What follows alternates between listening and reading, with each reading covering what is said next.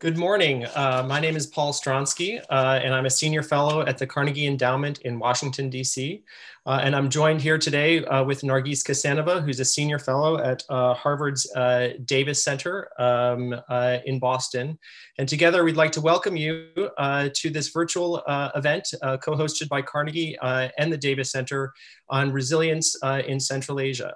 Uh, we have a very good uh, panel uh, uh today uh, who will be able to talk about sort of resilience across the, the entire area and the both state and society responses to the COVID-19 pandemic and the broad implications that it is having rippling across the region. Uh, to give you a little background, uh, Nargis and I, about a month ago, started having a conversation about how uh, both the states of the region were responding to the pandemic, both the immediate uh, emergency healthcare response, uh, but also started pondering about the longer term social, political, uh, and economic implications, how both societies were changing, how both civil society was, was responding, as well as the governments. and what we thought we would do is try to bring a group of experts who've been thinking deeply both about about the region, about the concept of resilience, um, and about um, how this might uh, uh, uh, help explain and, and, help us think about uh, both uh, how these societies are responding in the short term, as well as the sort of long term second wave, third wave repercussions of the crisis. So today we've gathered a great group of experts from all across the globe, actually. Um, uh, and I'd just like to introduce them. Uh, first, uh, we have uh, uh, Professor Edward Schatz, from, uh, who's an associate professor of political science at the University of Toronto. his research addresses various relationships between state and society in post-Soviet Central Asia, and his most recent book, which is forthcoming, is Slow Anti-Americanism. He's doing a lot of research on the downstream impacts of the Belt and Road Initiative in, in the region. Uh, we have Asiel Dowlat Keldiaba, who's an associate research fellow at the OSCE Academy uh, in Bishkek. She obtained her PhD from the University of Exeter in the Department of Politics, where she wrote her thesis on post-revolutionary social mobilization in, in Kyrgyzstan.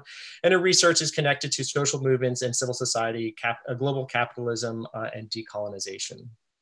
We have Luca Anceschi, uh, who's a senior lecturer in the Central Asian Studies uh, uh, at the University of Glasgow in Scotland, uh, where he also edits Europe and uh, Asia Studies.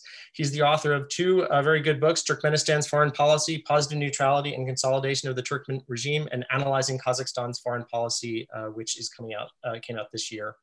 Um, and then we have Bruce Pannier, who is a longtime journalist and correspondent covering Central Asia. He is currently writes for Radio Free Europe and Radio Liberties blog, Kishlok Ovoz, Ovoz, Ovoz um, and he is a regular uh, on the Majlis podcast, uh, which features Central Asia.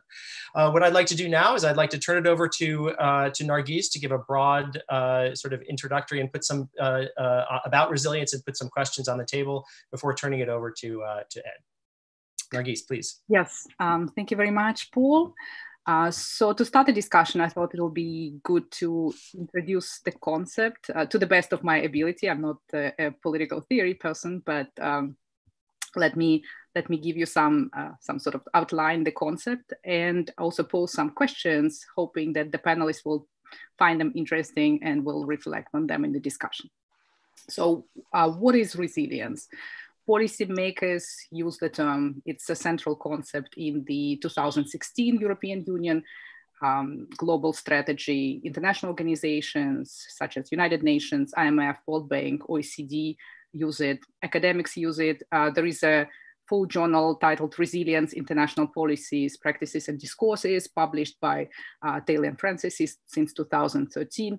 So it is widely used and uh, we more or less understand uh, what it is, but uh, let's talk a little bit um, about the origins uh, of the concept and its current meanings. So uh, the concept was first developed within systems ecology in the 1970s ecologist Crawford Holling defined resilience as the ability of the ecosystem to remain cohesive, even while undergoing extreme perturbations. So it's not about return to equilibrium, and Hollings himself found the uh, notion of equilibrium uh, too abstract and not terribly useful, but it is the ability of the system to absorb change and persist. Uh, and here he was talking about the persistence of uh, relationships within, within the system. Uh, so what the system needs uh, to, to do that is capital. And in this case, that would be biophysical capital, which is the in, inherent potential of a system that is available for change, since the potential determines the range of future options possible. So uh, the key concepts, the key the key words uh, in this concept are persistence and adaptability. So gradually this complex systems approach um, spilled into other areas. So we, uh, we see it in international finance.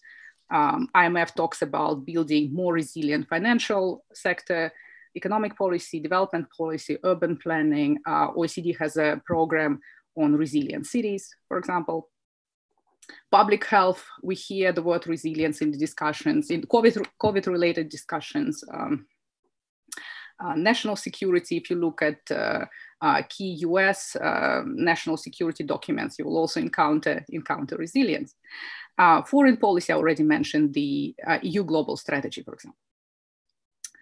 Um, so we see that uh, it sort of entered the term is um, acknowledged and adopted by policymakers, and uh, uh, they try to strengthen resilience, to engineer resilience, uh, to do contingency planning, and um, and that of course uh, results in question how to allocate resources, uh, what kind of redundancies need to be need to be created, and so on. But it's a it's a separate separate discussion. Um, now, whose resilience, resilience to what, and how it can be um, it can be strengthened. Um, uh, well, obviously we have different uh, different referent objects. Um, uh, can be this can be ecosystems, it can be financial, economic, uh, economic systems, it can be cities, this can be individuals, can be groups, states, societies. In our discussion, we hope to focus on uh, we decided to focus on states and societies in, in Central Asia. Now, to what? Um, shocks can be, well, we can talk about some one-time shocks. Yeah, and there the, uh, the question will be whether the system can bounce back. We can talk about recurring shocks, or we can talk about some profound changes. And here, I guess, the emphasis will be on adaptability, uh, adaptability of the system. Um, some shocks are more predictable. Uh, for example, climate change, uh, oil price uh, volatility. Some are less. Um, for example, well, COVID, COVID-19, again, that's something that was less expected. Um, and that obviously creates difficult uh, challenges for, for policymakers. Um, how you allocate resources, um, how do you prepare for less likely, should you prepare for less likely uh, contingencies, um, or how do you prepare for something unexpected? So uh, this initial model um, assumed that shocks are external to the system, but we understand that it's difficult, if not impossible, to uh, draw the boundary between external and internal. And we see it with COVID. The you know it, it, it originated externally, but immediately it becomes an internal internal problem uh, carried by your own your very own citizens. Um, we and when we talk about Central Asia, definitely we are concerned with internally generated uh, risks. Uh, we know that the implosion of systems is possible. We lived through the collapse of the Soviet Union. Uh, we saw the Tajik civil war in the 1990s. And um, I'm not sure we can fully exclude this option in our consideration of the future of Central Asian um, countries. So now how? How is the most interesting question? Uh, what makes a state or political system more resilient, what makes societies more resilient, um, for example, is more complex, integrated with the outside world, high capacity system like in Kazakhstan, more resilient, or is Turkmenistan less complex, isolated, lower capacity, uh, more resilient? Um, how important are institutions and their condition and for to prepare for this uh, for this event, I've been rereading Samuel Huntington's political order in changing in changing societies, and he talks about uh, he argues that uh, the higher the level of institutionalization, um, the higher the adaptability of the um, of the system. So is it the case? uh, what is the role of elite configurations?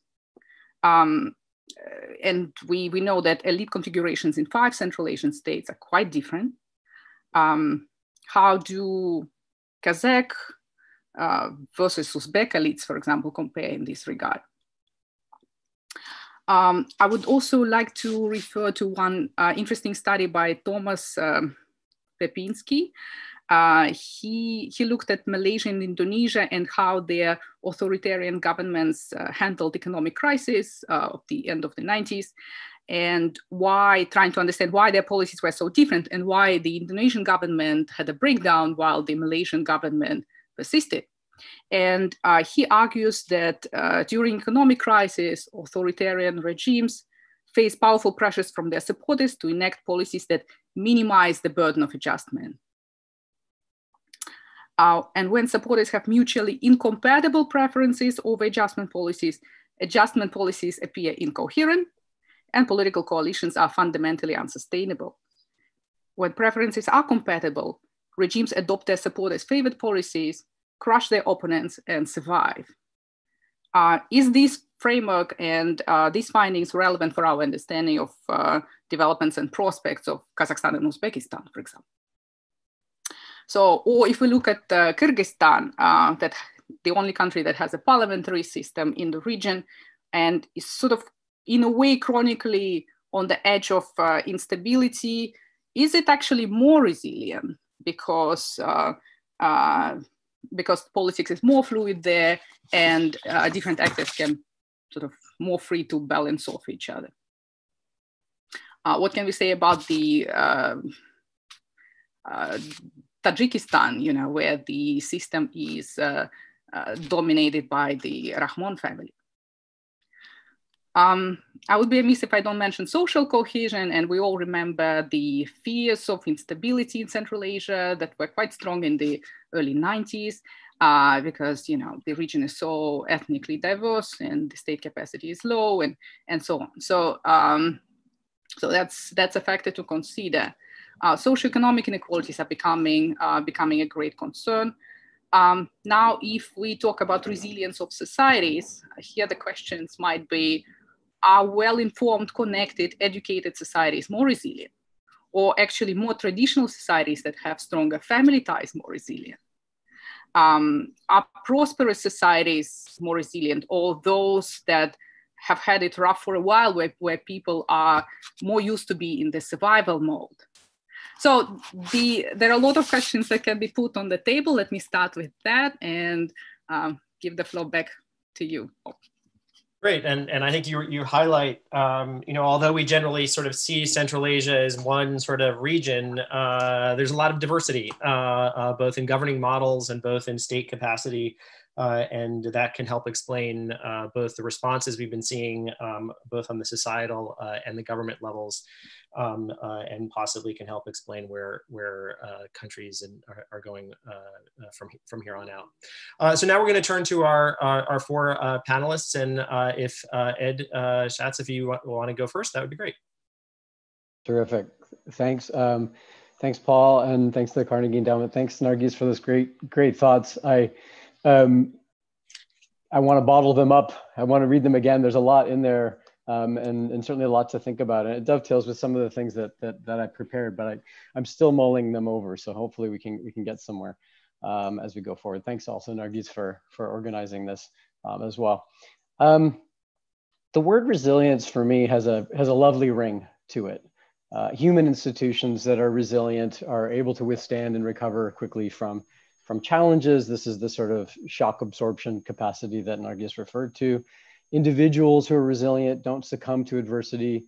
Uh, in fact, adversity may make them make them stronger. There's a bit of a movement in North America to instill resilience in our children, uh, where that might th that principle might have been absent from from past generations of, of parenting. Um, in these cases, we're pretty inclined, I, I would say, to celebrate resilience, cheering on our heroes as they beat the odds. With state institutions, by contrast, endurance against all odds in the midst of adversity is at best a mixed bag. And my, I want to concentrate on, on the resilience of states. When states provide public goods, of course, any resilience is most welcome. When states visit violence upon citizens, the same resilience is clearly unwelcome, and we rather wish that they'd succumb to pressures for change. So, when the regime in Turkmenistan and to a lesser extent in Tajikistan responded to COVID 19 with outright denial, uh, when in Kyrgyzstan recently the activist uh, Kamil Ruziev was detained in Karakol in, uh, at, the end of, at the end of May, when in Kazakhstan the uh, Pr President Kassym-Jomart Tokayev signed into signed the new law on protests, which did what previous versions did. They changed a few a few dimensions of uh, the requirements, but the essential contours of of state society restrictions remain more or less the same. These are all enduring practices of the state that we may not particularly welcome. Things like control of information space, harassment of rights activists, restrictions on free assembly, which in which the game of cat and mouse continues between state and society. These are enduring practices that we might rather wish didn't endure. So I'd suggest that we let the word resilience, at least with regard to the state, um, uh, with, uh, with, with the terms normative valence, give way to the word change, which is normatively less charged. So when and how do state institutions change and what might we expect from the Central Asian context in the wake of, of COVID-19? There's nothing automatic about change, just as there's nothing automatic about endurance. Um, I'm reminded of one of my professors when I was in graduate school who didn't particularly like the vocabulary of democratic consolidation.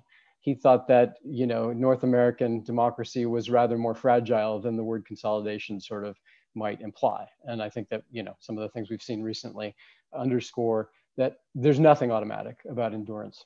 The pandemic in, in, in, the Central Asian context will certainly not become an absolute rupture for state institutions. If the collapse of the Soviet state, which I would argue is, was more cataclysmic from the perspective of state institutions, did not produce a fundamental rupture, then I don't think that COVID uh, will, and it's COVID and its, and its associated lockdowns and implications. It, of course, may accelerate change on some dimensions, and I'll get into those in a minute, but for the most part, we can expect more of the same. So consider, for example, the possibility, at least in the near term, of regime change, which is something that is uh, one lens through which to view uh, Central Asia sort of state society dynamics. In one sense, a major exogenous shock, a hurricane, an earthquake, or a pandemic clearly challenges the existing political order. But if we look at the historical evidence from, from other cases, in the aftermath of exogenous shocks, uh, such as these, people tend to turn to state institutions, at least in the near term, for support, for, for succor. And we shouldn't assume that any suffering that people do experience will necessarily be blamed on state authorities. That's an empirical question, um, and it's not automatic. In the case of COVID, the fact that the disease and um, various government responses were not necessarily better in the West or in advanced industrial countries more generally, I think for the near term gives the regimes of Central Asia a bit of a pass at least in the eyes of uh, broad publics over the short term. So we shouldn't, I would say, expect protests to mount specifically on this issue because the public, generally speaking, doesn't expect all that much on the public health front. Um, this may change in the future. Nor do publics generally uh, blame the rapid economic contraction on their respective governments. Of course, there were, you know, uh, economic troubles uh, before this, but COVID doesn't add doesn't add uh, challenges to the legitimacy of the state necessarily in the short term. Of course, there are bottom-up pressures for reform. Turkmenistan, as, as we all know, um, Luca perhaps in particular, its economy has been teetering for several years, challenging, perhaps even undermining the regime's claim to legitimacy. But COVID per se is not adding much to the equation in the near term. And if you add this, add to this general picture, a regional and even a global preference for the political status quo for maintaining re existing regimes in place, you don't exactly have a recipe for near term or for change in the near term. But change is a curious thing, I would suggest. And state institutions may withstand today's calamity, but feel its impact many years later and in ways that are fairly unpredictable. And of course, I've gotten out of the business of predicting you know, over the medium or longer term, but things to be on the lookout for. So let's take a look just briefly at South Korea. Um, under President Park in, um, uh, in, in 2014, so prior to the to the current President Moon Jae-in, um, there was a ferry disaster in 2014, followed by uh, which, which killed about 300 people. Then there was the, the bungled government response to the MERS crisis, um, to the MERS outbreak in 2015, but neither of these toppled the government. They did, however, add to a rising public impression about the corruption and incompetence of government that ultimately led to President Park's impeachment and eventual imprisonment uh, in 2016. Um, in the meantime, under President Moon Jae-in, lessons from MERS were learned, or from the bungled response, especially about the need for early and decisive action, um, isolating those who were uh, who, who were infected, and moving very quickly. And so South Korea has become, you know, the poster child for the right way to respond to a COVID-19 crisis, right? Which is, uh, we can think about this counterfactually. Had South Korea not learned from the MERS crisis, the public might have had a very different response. And this could have generated um, bottom up impetus for change in that context as well. The point is that COVID will certainly, in the Central Asian context, set in motion processes that may become important in a year or in two or, or in a decade, but it's, it's going to be unpredictable. One thing to be on the lookout for, I would suggest, um, is for the differential effects of COVID and its associated lockdowns. Um, as we know from the various contexts where we're all living, uh, the, the crisis doesn't fall equally on every group, whether it's socioeconomic or whether it's, um, uh, do I have one more minute, Nargis? Is that, is that good? Okay um, it doesn't fall evenly um, and equally on everyone's shoulders. So if we think back to Hurricane Katrina in the US and how it devastated uh, African American communities in particular, while leaving others relatively more intact, the resulting victimization and resentment became part of bedrock narratives about and, and understandings about systemic racism that don't exa exactly disappear over time. In fact, they become you know, a mobilizing moment for perhaps even today's, uh, today's social mobilization that we see. Similarly, we should be thinking about who is being adverse, who in particular is being adversely affected by COVID and associated economic contraction. The kinds of resentments that this generates can be coded in ethnic, regional, or other terms. And it's hard for me sitting in Toronto to know how this is playing itself out. Uh, it'll, it'll become more visible as the, as the months move on, but that's one thing to particularly be uh, on the lookout for. So uh, boiling this down, in the short term, Central Asian states will not be frontally challenged by COVID and the associated lockdowns. There will be opportunities, of course, for the region's leaders to pursue smart policies that minimize suffering, saving lives, saving livelihoods. But I don't expect that COVID itself will produce an immediate impetus for change. We can expect all the contours of state practices, such as they are, to endure across the region in the near term.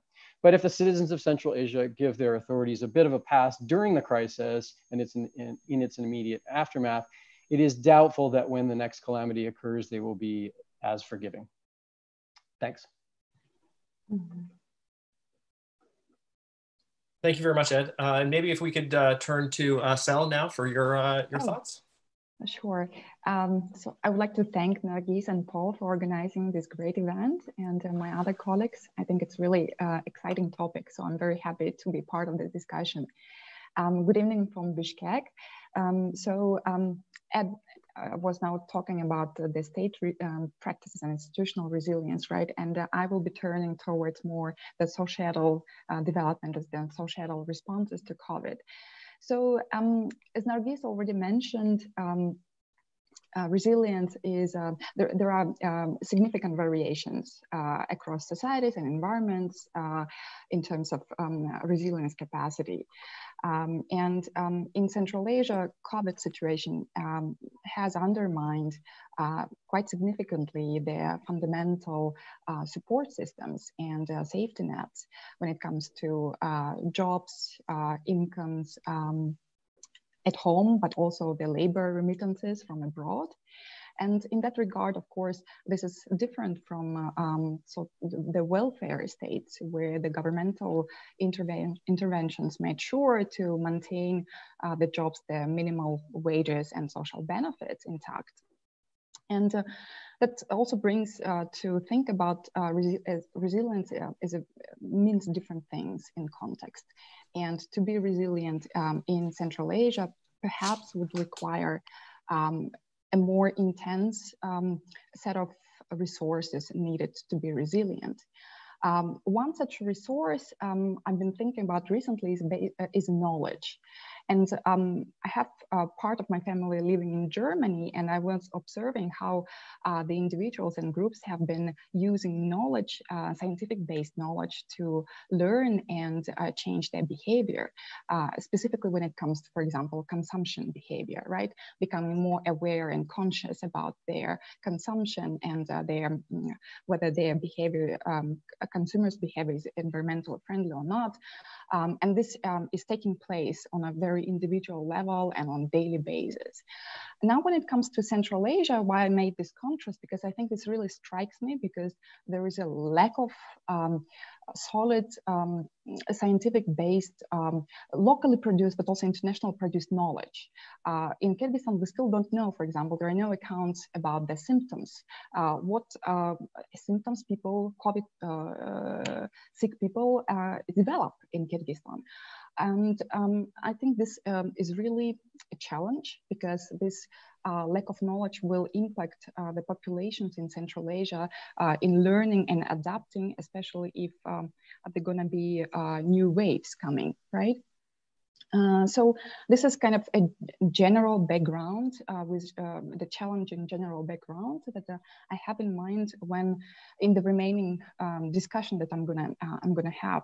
And so in this um, remaining discussion, I would like to highlight two probably um, two types of knowledge that um, that have been informing uh, the coping mechanisms among individuals and businesses that people have been developing uh, in Kyrgyzstan and um, uh, a little bit in Kazakhstan as I, as I was observing um, these developments. So uh, one um, uh, one type of knowledge uh, or one type of coping mechanism is related to um, informal economy. And the second one um, uh, is related to Islam and uh, to the emergent business practices under um, Islamic um, ethics. Um, and uh, in the, in, I will conclude with a couple of re reflections also on the infrastructure of social mobilization that um, has been activated um, in Kyrgyzstan to um, respond to uh, the lockdown um, you know, on a more general level. So um, the first type of strategy that I was observing among communities and individuals is um, this uh, diversification and informalization of income. Um, and I don't have time now to go into detail uh, to discuss all of these um, um, strategies uh, to diversify and, formalize uh, the income. But for example, one thing um, is how people are now uh, you uh, going back and beginning to reuse uh, their abandoned dachas and uh, their garden, uh, their, their home gardens, um, and every land available basically to grow their, uh, their home produce and this way to um, supplement their subsistence. And for advanced industrialized societies, it might be mm, kind of not really important, but actually to believe their uh, the World Bank statistics, uh, 40 to 60 percent of Central Asian population spend their family budget on nutrition. So in that regard, this becomes quite a significant strategy of households to secure uh, nutrition uh, in the coming summer and autumn. Another thing that I noticed is that people who from very lowest strata uh, were able to um, maintain their nutrition uh, and subsistence uh, by being able to uh, borrow uh, groceries in credit from a local um, local uh, smaller shops. And of course, this probably will not be fully possible in, uh, in fully neoliberalized, institutionalized economies uh, that uh, kind of groceries are being given uh, to you on a credit because you are coming from a local place and the people know you. Um, and also people have been using a lot now barter systems as, as a response to the lack of cash and um, this is spe specifically predominant in uh, businesses related to farming and agriculture. And uh, well, now you can say that uh, this is not fully new, of course. Uh, people have been doing that in the past in Central Asia, but I have impression that his, these practices are being reactualized and amplified, and also probably shows how um, individuals and businesses are responding to the lack of flexibility of the market, uh, where the institutional actors such as banks and financial institutions were unable to actually quickly adjust uh, to the changing needs of populations. Um, very interestingly, this type of knowledge actually uh, goes back to the 90s because people, uh, when I asked them, okay, so how come did you come to this uh, growing your plots and uh, going back to dacha, and people referring to the shock therapy of the 90s uh, saying that they have been there, they've been through worse, and uh, they can do this as well, right? So the other type of strategy is related to the growing uh, new PIWS population, right? And I've observed some large uh, businesses such as con construction, uh, construction companies um, uh, with the religious leadership, how they've been responding to this COVID. If other companies were laying off people, uh, these companies really maintained their employees not only maintaining their salaries at the uh, existent level, but also actually uh, giving them in advance, especially for those who are, are very much in need. And I'm not saying now that uh, other companies uh, are not doing that, uh, but uh, these kind of uh, business practices have been embedded within the Islamic rhetoric, uh, Islamic discourse of solidarity, morality, uh, um, yeah, so um, one question needs to be seen whether this is a significant phenomena because there is a growing religious population in, in Kyrgyzstan um, and whether this can constitute a kind of, um, you know, alternative potential, alternative to other source of knowledge, the scientific type of knowledge, right? Um, and uh, whether people will draw more and more uh, from Islam in order to uh, be resilient to oncoming shocks. Uh, finally, um, I don't know, do I still have time? Maybe one, two minutes, right? Um, uh, one thing about the, the infrastructure of social mobilization, because uh, Kyrgyz society was uh, very quick in uh, responding and mobilizing to the shock. Uh, especially on the local ground, on the local level, there were uh, groups, uh, entrepreneurs, networks, charity organizations and um, uh, just ordinary citizens um, mobilizing to fundraise money to uh, support the vulnerable groups and the medical system as well. So, um, but then it's it, it, we have to be cautious because uh, this this type of mobilization is really not new for Kyrgyzstan. There were already such experiences um, with the re quite recent um, economic uh, upheavals created by the the two uh, so-called uh, revolutions in 2005 and 2010 when society were, and the entrepreneurs were responding in the same way. So um, one thing that I would like, I'm really curious about whether this mobilization can be, uh, can bear the potential for a more transformative change uh, in, um, in the way that they can pressure on the systems of power to change. And that we might have a possibility to see in the upcoming national elections, which are scheduled in autumn. Thank you very much, Asel. And, and I see a couple uh, themes. I mean, both I think, uh, you know, Ed uh, also sort of mentioned that, that people aren't looking all that much towards the state uh, right now. Um, uh, and that, you know, they're using their own ingenuity, informal sector, civil society, um, sort of these Islamic businesses. Um, and I don't think that's necessarily new, um, as you point out, uh, but I think it's something that this seems to be accelerating the crisis. Mm -hmm. and, and in a pinch, uh, people don't look uh, towards the state, but they look towards their community and, and uh, uh their own ingenuity. Uh, great, thank you very much. And now if we could go to, to Luca, if um, that would be great. Thank you. Thanks very much to both Paul and Nargis for the invitation and good afternoon everyone from Glasgow. Uh, now, uh, I was asked to talk about Turkmenistan, so my comments are going to be focused on Turkmenistan, which is kind of interesting because if we believe what the government says, there, was, there is no such thing as COVID 19 going on in Turkmenistan. So you will hear not much about the pandemic when it comes to my observation of resilience in Turkmenistan, but it is also very interesting to see how the problems that they have have been amplified by the pandemic nonetheless.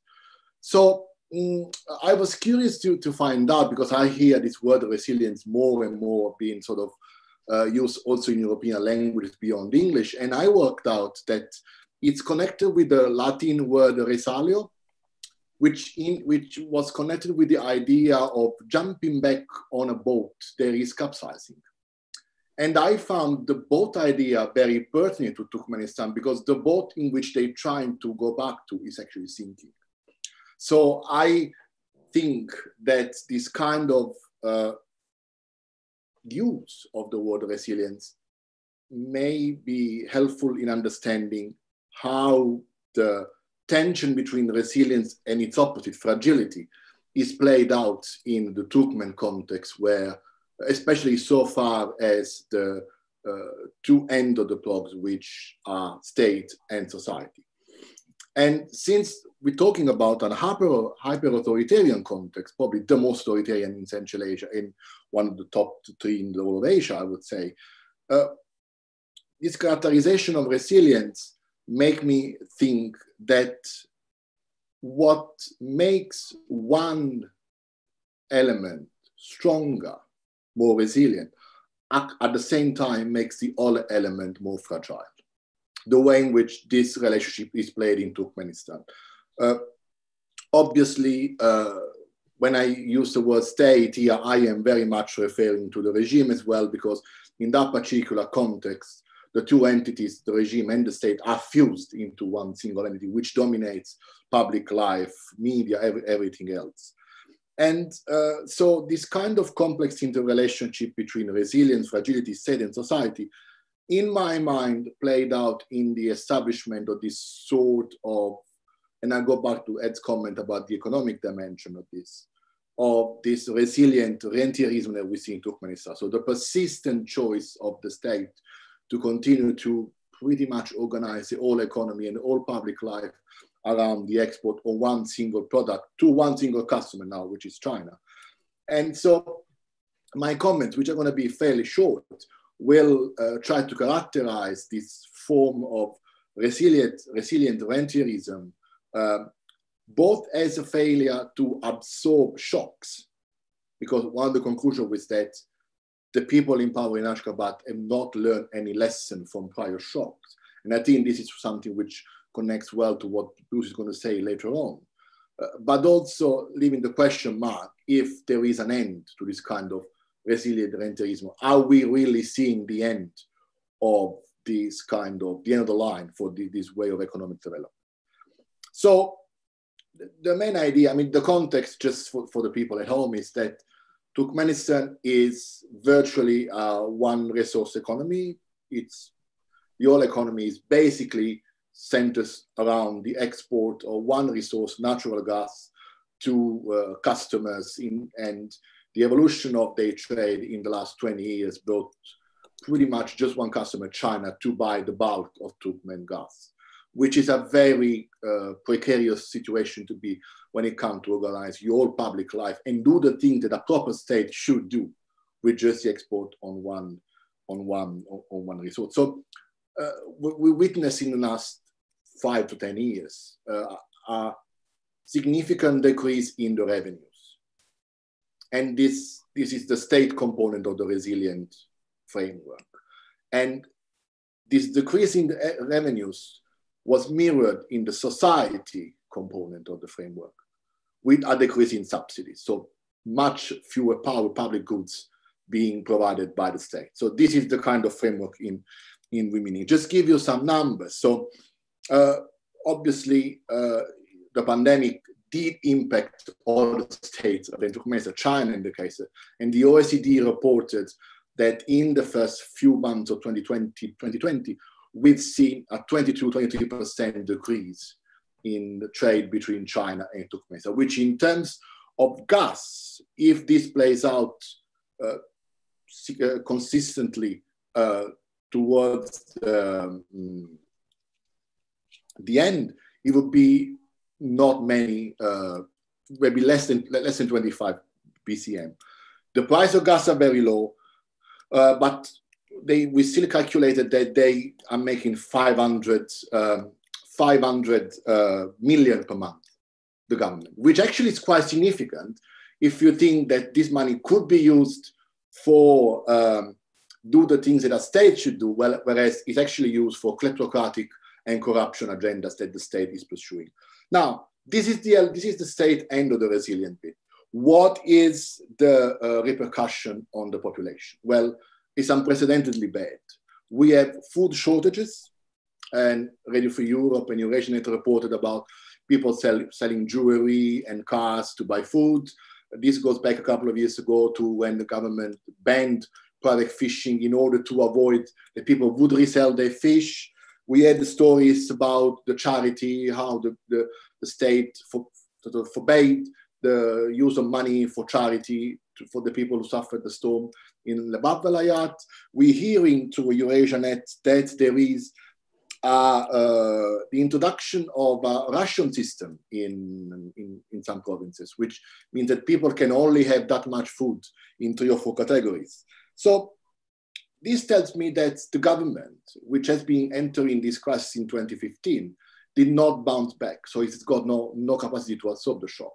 The things are going worse to an extent to which uh, we've seen more protests in the last four to five weeks than we've seen in the last 20, 20 in, in the 29 years of independent life. This tells you that probably the people is less resilient than they think that, that we'd like to imagine. So that actually that we got to the point at which even the Turkmens have had enough. So uh, my question, uh, you know, like which is not kind of uh, uh playing up for uh, you know crystal ball because you know we don't do that. I mean, is this sustainable? Is this kind of uh, regime resilient to shocks? My impression is that no, but when the, the, the population start to feel more uh, affected by these economic choices, we then then began to question how the old system is able to cope with a new the new shock, which will COVID or, or no, they will inevitably come up. Thank you very much. Uh, thank you very much. That was actually really uh, uh, very useful. I mean, I think you know for years people have been talking about sort of the sustainability of the Turkmen model, um, uh, and I think you sort of highlight uh, it is not very sustainable, but it keeps on plugging along. And and um, uh, and how long is that is that going to be there? I think another thing we can talk about a little bit later is also the food issues and food security in the region, because I think both you and Asel have, have brought that up as well. Um, and maybe now, now if we could go to Bruce, please. Well, thank you, Paul, and thank you, Nargis, and thank you to the Davis Center and, and the Carnegie Endowment for inviting me here. Uh, I'm going to, uh, I guess I'm, I'm the old, the, the Aksakal of Central Asia at this point, and I'm going to go back in time and kind of talk about some things that have happened and see how they might compare or not compare with the situation now. Um, you know, I, I, was struck when uh, Nargis talked about one-time shocks. Well, see, you know, this is this is something that the Central Asians are kind of used to. Uh, and if it would, if it, they they figured that it's always going to be passed off. Now we know in the early days of independence, the economies were in bad shape. There was crises across uh, across Central Asia uh, economically. But you know, at that time too, you could all you had to do was look at any of your neighbors um, in the former Soviet republics, and, and, you could realize that they didn't have any better to, any better than you did. So you know, there wasn't there wasn't much outrage at, at, a particular government that it wasn't handling things well because no government was handling it particularly well at that time, right? But then came like what I would say, you know, the one-time shocks. So you did have things, security problems, right? Tajikistan, the civil war, uh, you know, went on for five years, but uh, this is a case where where they did have outside help. Uh, you know, so if you were in Tajikistan um, and maybe you weren't a strong supporter of the government maybe even supported the opposition. But ultimately, what you wanted was for this to end, right? So uh, it was kind of comforting to think that there was countries like Russia, Uzbekistan had a hand in it. Uh, Kazakhstan and Kyrgyzstan contributed some forces, mostly to guard the border. But you had the idea that you weren't alone, and and there was a goal that you were going for on this too. Uh, you know, so and, and it would end one time. Uh, later, we got the Islamic movement of Uzbekistan. They showed up again too. Uh, you know, and and this was another case where there was outside help and generally most people were were with the government uh, in their respective countries. Of course, the uh, Islamic movement of Uzbekistan was present in Tajikistan, Kyrgyzstan, and, and wanted to get into Uzbekistan certainly. And, and the majority of the population and uh, populations in all those countries were against this group. Uh, you know, so it was it was something a chance for the government to actually get some popular support from among the people uh, who were really rooting for them to do something and get rid of this group. Afghanistan uh, has always been a problem. No one in Central Asia wants their country to look like Afghanistan has looked for the last 40 years. Uh, so this is another another security dimension where, where you can be sure that the population is going to rally behind the government. Uh, they might not approve of some of the methods exactly, but the, the goals, the, the end game for this thing is, is pretty much well agreed on by everybody. Um, you know, they've had, I mentioned some of the economic problems, and I'm going to come back to that again because Asel raised an interesting point. But in 20, you know, when the global uh, economy had problems 20, 2007, 2008, um, you know, once again, uh, Russia wasn't able to help, but there was a possibility to get some outside help because China was rising in the region. That was really, you know, when China was making its first forays into major deals. It had signed some big agreements, but they were starting to be built and, and come to fruition at that time. And then, of course, in 2014, when the price of oil dropped uh, significantly, and and Russia was no longer able to help out once again uh, the people in Central Asia. China was still relatively unaffected by this, and so they could still come in, and the government was able to prop itself up. When it lost the Russian financing, it gained the Chinese financing, right? So there, for the average person in the Central Asian countries, uh, there was compensation uh, for what what was lost with Russia. Um, so there's always been somewhere somewhere they could turn to outside. And that's one of the differences about the, the covid thing uh, just to brush on what's happening recently is that uh, yes this is a global a global pandemic of course. Uh, you, the governments are very careful in in their narrative of this to always mention that it came from outside. Now we know it all you know no matter where you are in the world it came from outside your country unless you're in china. Um, but the governments in Central Asia feel compelled to constantly remind that this is this is something you know even this week uh, there's reports the people that have it came from India or they came from Turkey or they came from somewhere in Europe or something. But there's always they always have to remind people that this was not a problem that that originated in their country, which shows a little bit of nervousness on the part of the government. Uh, you know that they want to keep reminding people it's not a problem we created; it's a problem that came to us from outside the country, and this is something that's repeated constantly with them. Um, so uh, okay okay um, so this is something that that it affects everyone but it has exposed some of the weaknesses in the infrastructure certainly in the, the medical systems in central asia.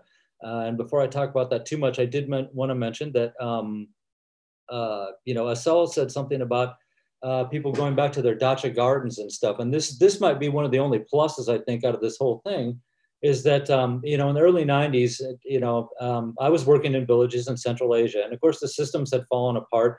And and i heard the same thing that Asel was saying then. I was working in you know in the kishlok uh, you know way out there in the countryside and people would tell me that their relatives from the cities who they hadn't heard from me from you for years were all of a sudden getting in touch with them because they had food.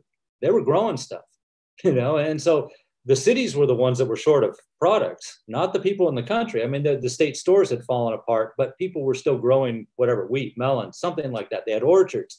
Uh, so, you know, their, their cousins from the city all of a sudden got in touch with them. And I think that's probably one of the effects, the more short term effects that you're going to get from what's happening right now is that uh, people are re- reconnecting with relatives, their rural relatives, uh, because they, they have a more a reliable source of food right at the moment. Whereas markets and bazaars and the big cities are having problems right now. And and you know with the disruption to global trade uh, this is bound to continue. Uh, the cities are probably going to get hit worse than than the rural areas just much as it was in the early 1990s um, so uh, what else we got? Um, so now you know like i said they've been able to to deal with the Central Asian governments have all been able to deal with shocks in the past that were security or economy because everyone could see that there was going to be an end to this. And of course, this, this current health problem will have an end to it. Uh, there'll be an end to that also. But um, it's, like I said, it's exposed some of the weaknesses in the healthcare system, which has been, you know, let's face it, in all these countries, it's been underfunded for years. Being a doctor is not a prestigious profession in Central Asia at all. Uh, you don't get paid very much. Uh, there's been a lot of corruption in the medical system. Uh, you know, there's been accusations that people were able to buy degrees. Uh, you know, uh, and uh, and so now this is all coming back to roost for some of these Central Asian governments, where you know they haven't invested in this in years. It's kind of too bad that they'll probably compensate by over-investing in this now after as this this continues, and then maybe they would have spent too much money three or four years from now, and they'll find out that maybe they dumped too much money into it. Um, but but certainly you'd have to you'd have to say that it's been handled poorly across the board in Central Asia. The figures that people give, uh, that the governments give for the number of cases, the number of, especially compared to the number of fatalities, very difficult to believe. Uh, obviously, the people can't believe it because they are acquainted with this. Uh, you know, they're there on the ground. They see their relatives or hear from friends about their relatives that have got this, maybe died. Uh, it, it was diagnosed as, as death from some other reason. Uh, but you know, they're they they are going to see. You know, it's just one another case where the the lies or exaggerations of the government are exposed for all the people because they're on the ground and they see what the truth is. The government can make any, whatever claim they want, uh, but the fact is is something different, and people are going to understand that that uh, once again. Uh, the government has not been providing them with accurate information. Now, Tajikistan and Turkmenistan are the worst case examples where they, you know, for all, all the way until the end of April, both countries were saying they didn't have it at all. And then Tajikistan finally says, okay, uh, we, we registered our first few cases. And now that they're one of the worst countries in all Central Asia, they have the most, most reported deaths of any country in Central Asia. And they went from having no cases to having uh, you know, over 4,000 in five weeks.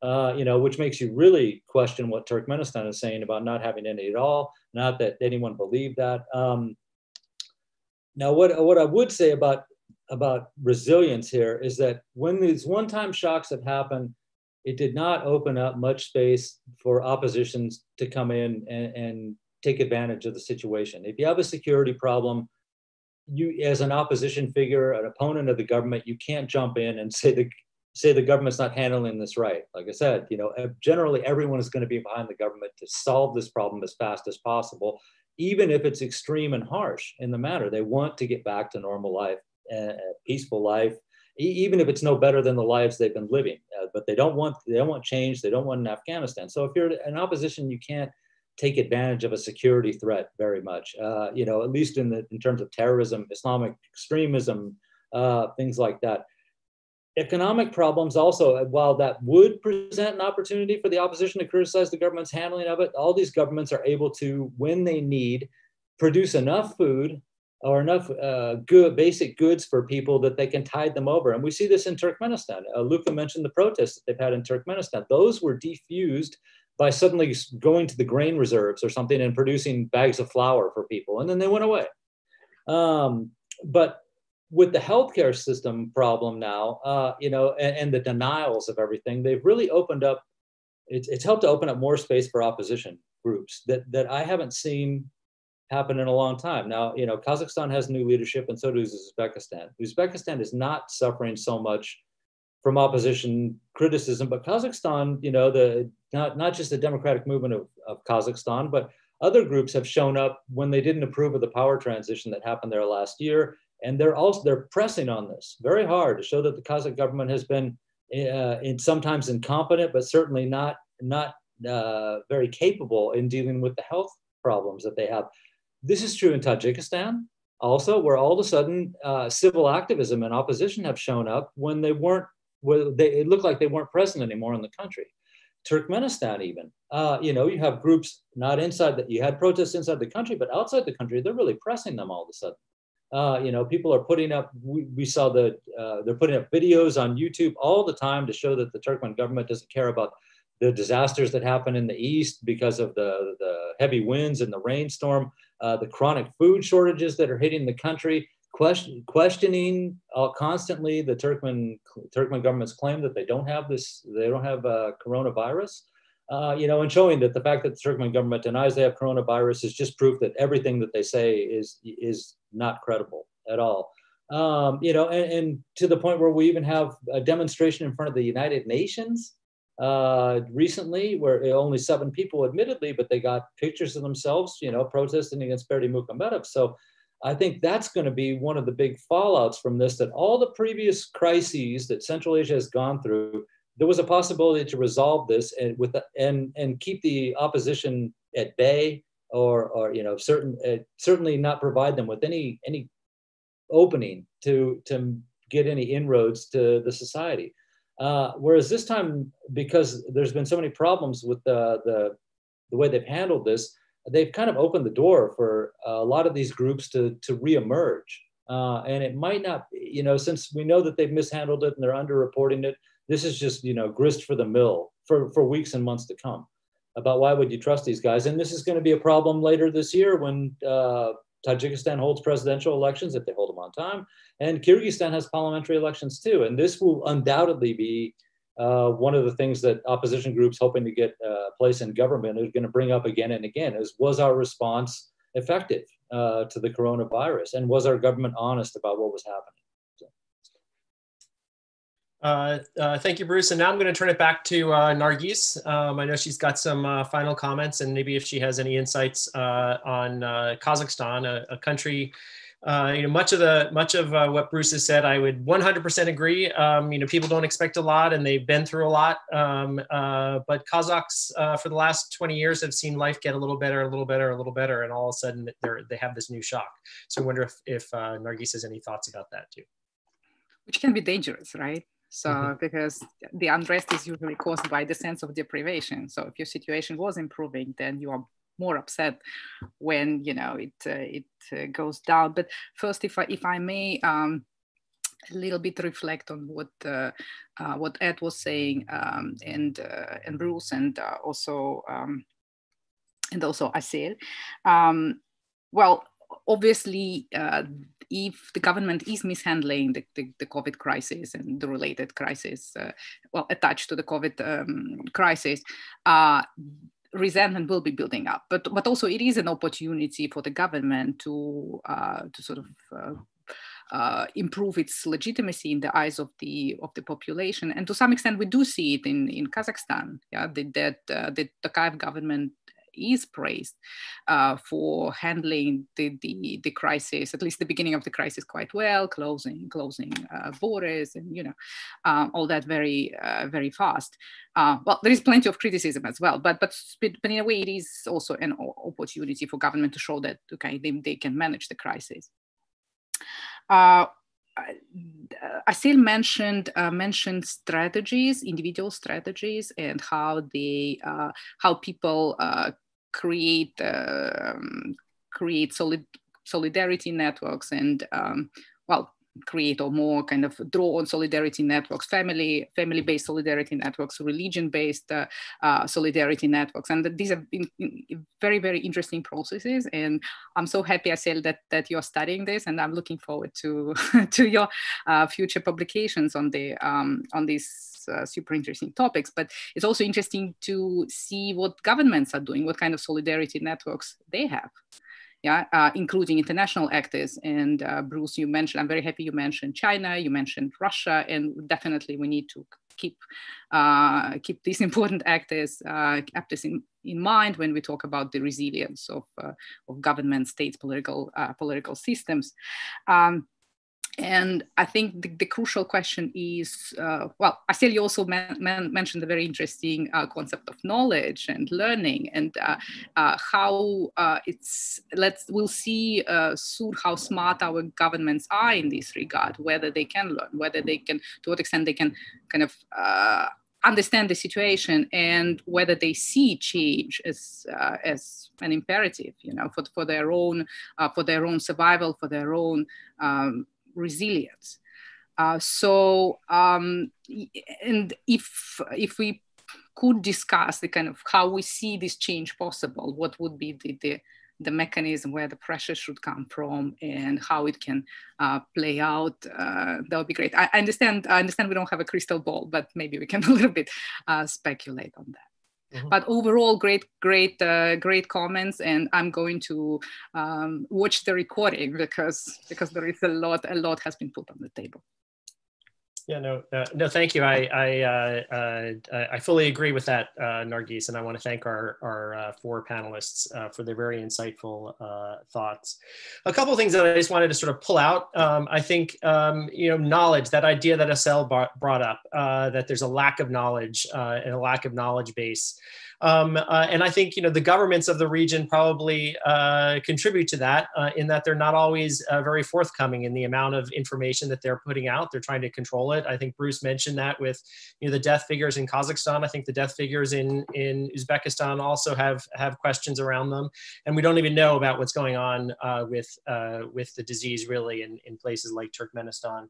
Um, I think that also opens up you know a huge avenue for you know conspiracy theories and rumors, which is basically how uh, information is spread in the region. And I'm sort of wondering uh, how you sort of view, how people view that. Um, you know, particularly at a time when you need social co cohesion, particularly at a time when you need you know people to follow certain public health guidelines and and and uh, all of that. Um, uh, uh, you know, what role is is you know this failure to have clear and concise information and and the proliferation of of you know conspiracies. Um, uh, and we even see that you know in the West, uh, the conspiracy theories about COVID are are running rapid um, uh, as well. So I, I, was wondering if people had any any thoughts on that um, first, and then I, I think um, Ed mentioned something about you know not sort of seeing a whole lot of change in sort of public attitudes towards towards leaders and towards governments, and I think you know, we were, we're not seeing it uh, clearly, but is that because uh, it's very difficult to actually quantify that um, uh, uh, in the region with lack of survey data, lack of quality polling. I think if you just look at Russia, which has really botched uh, its COVID response um, way worse than any of the Central Asian governments had, you've seen uh, Putin's uh, polling figures tumble back down to the to the low 60s, um, you know where it was before uh, you know in in the in like 2011 2012 before before Crimea. Um, uh, so you know what do we actually know about about what what um, how societal attitudes uh, are changing and what are the best ways that we can gauge that now particularly given the lack of information and, and accessibility uh, we have uh, to the region particularly in the middle of a pandemic which makes it even harder so I'm, I'm happy to throw those, those two questions out um, uh, if anybody has any, any thoughts uh, on that.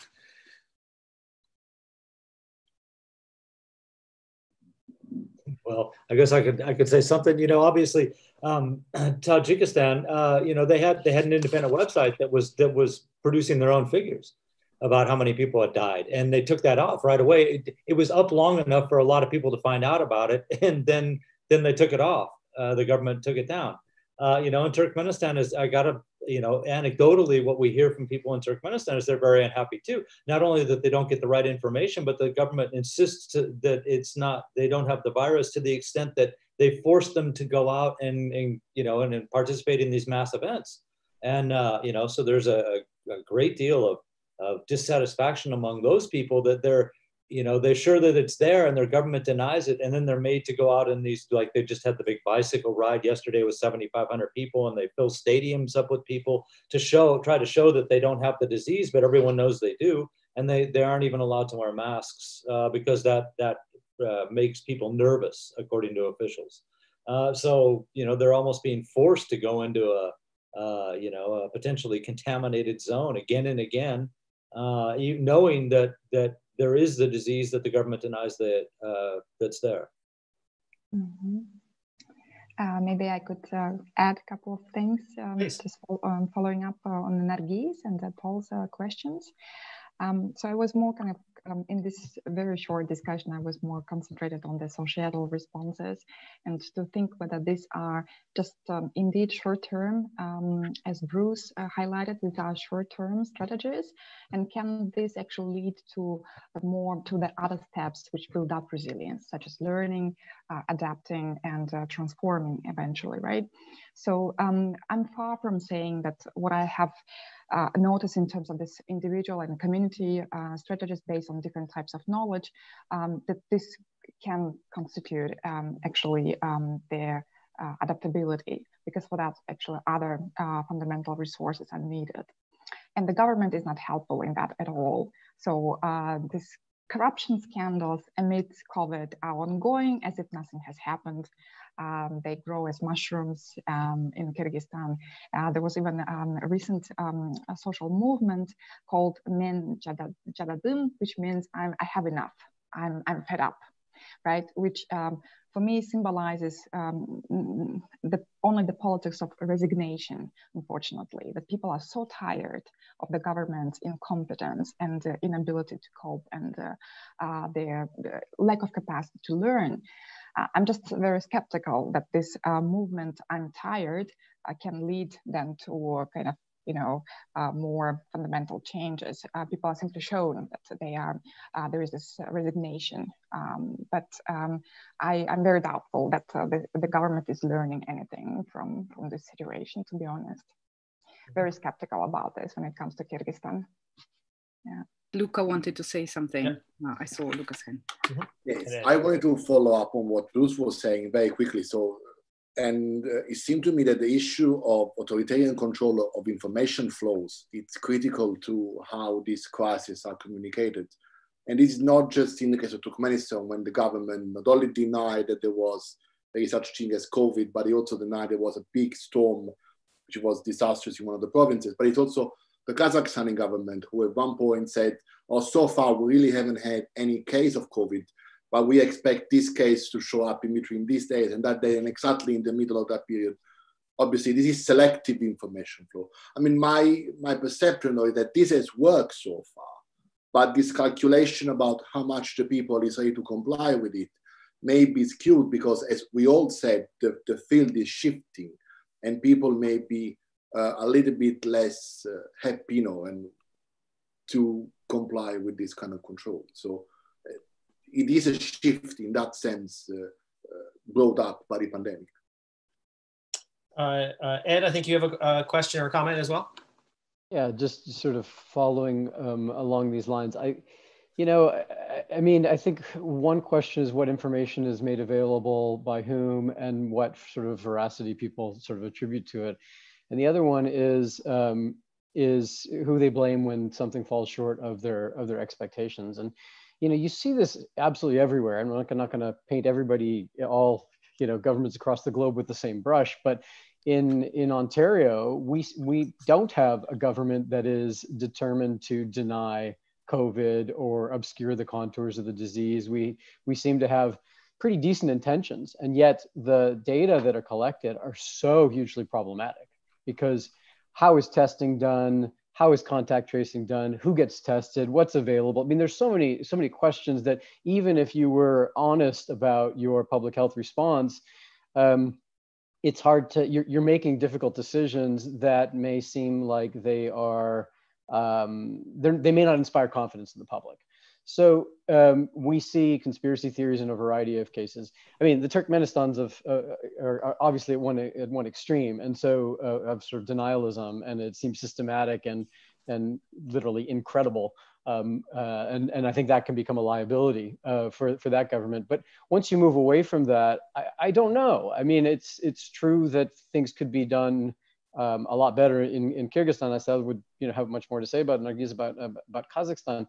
Um, but on the other hand, again, by if similar sorts of um, dynamics with regard to information of questionable veracity leading to conspiracy theorizing and so on, if that takes place everywhere, I'm not sure that introduces sort of specific liabilities or specific impetus for change um, in, in, in Central Asia. So I would I would just say say that full transparency is a weird thing to think about. I mean, we tend to valorize transparency, and I'm all for that in, in general. But in, in this case, it's kind of even hard to know what that would look like. Mm-hmm.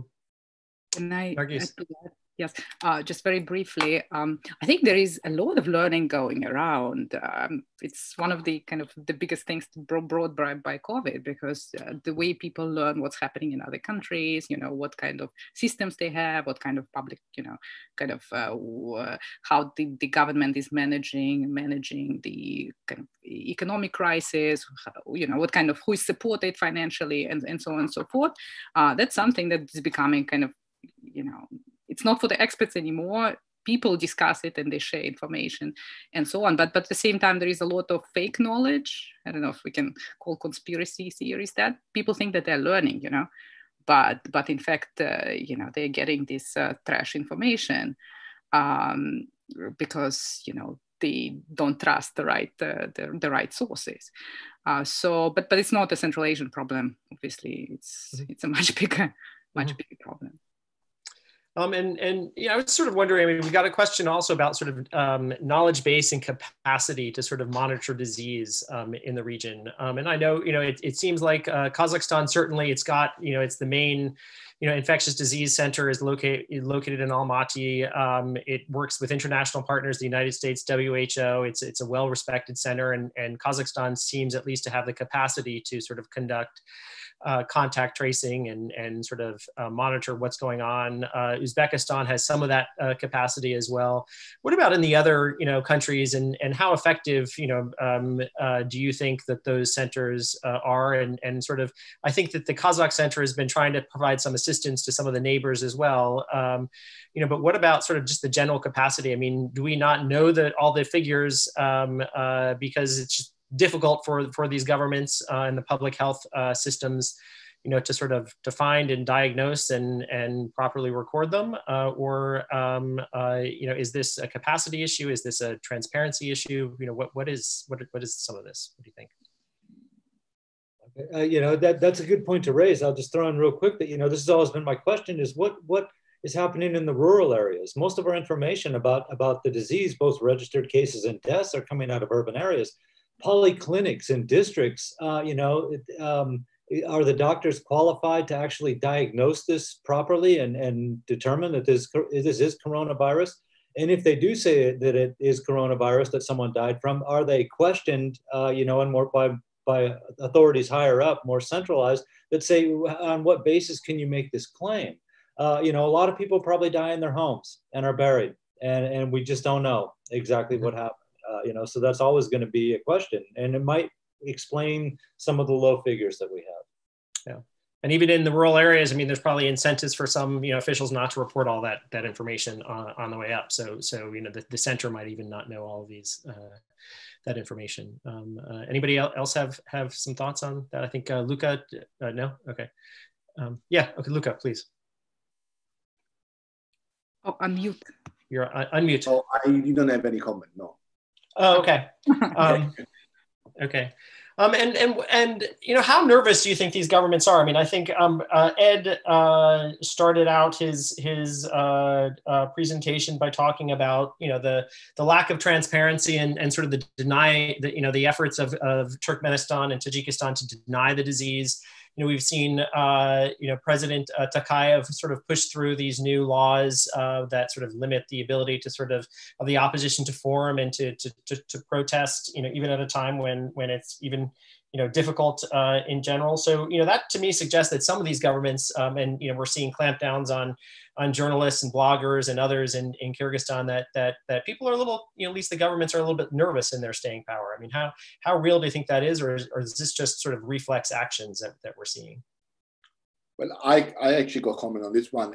I think that in the case of, of Turkmenistan especially, uh, we've seen uh, the repetition, in fact, of, of, a much bigger crisis compared to four or five years ago with the same response.